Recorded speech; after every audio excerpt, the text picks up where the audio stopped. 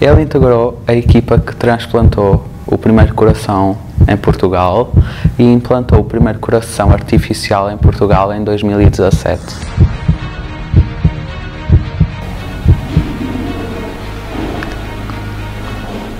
Olá, sou Tomás Vilela, apresento José Fragato, meu cientista de bolso.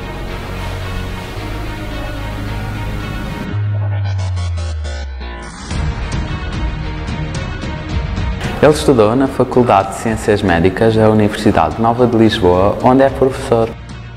Nós vamos é que mudar o modelo de ensino.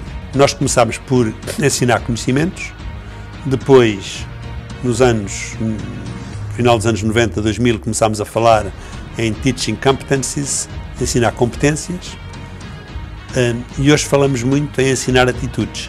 Os profissionais de saúde têm que aprender a aprender, trabalhar em equipa localmente e trabalhar em rede globalmente. Tem um vasto currículo como clínico, investigador e docente, desenvolvendo em paralelo com a sua vasta carreira nacional e internacional como cirurgião cardiotoráxico. Presentemente dirige um grande departamento hospitalar no Centro Hospitalar Universitário Lisboa Central, aí combinando a atividade clínica com a académica e a gestão hospitalar. Ele já operou mais de 10 mil pessoas, trabalhando habitualmente com a sua mulher Isabel Fragata, médica anestesista.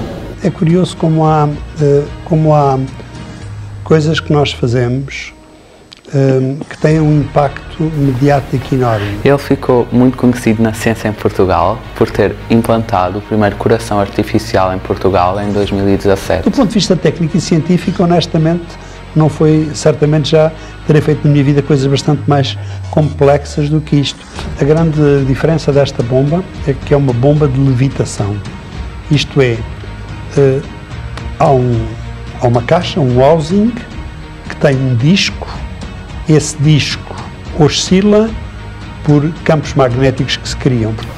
Ele é vice-reitor da Universidade Nova de Lisboa, diretor do Serviço de Cirurgia Cardiotoráxica do Hospital de Santa Marta, do Centro Hospitalar Lisboa Central, do Hospital CUF, professor catedrático de Cirurgia e coordenador da área de ensino e investigação de Morfologia e Cirurgia da Faculdade de Ciências Médicas da Nova.